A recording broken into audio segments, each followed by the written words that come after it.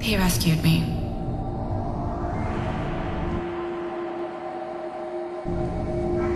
I was in a foster home. My foster father was a demon. He attacked me most nights. I had to get out.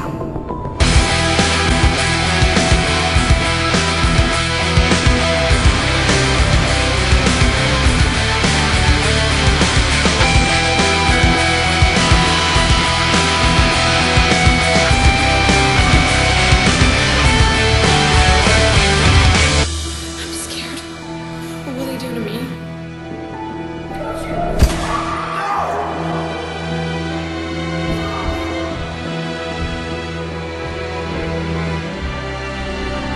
Found another way. I aimlessly wandered limbo in spirit form.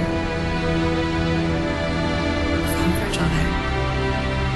He heard my cry for help. How did you figure it all out? Vergil pulled me out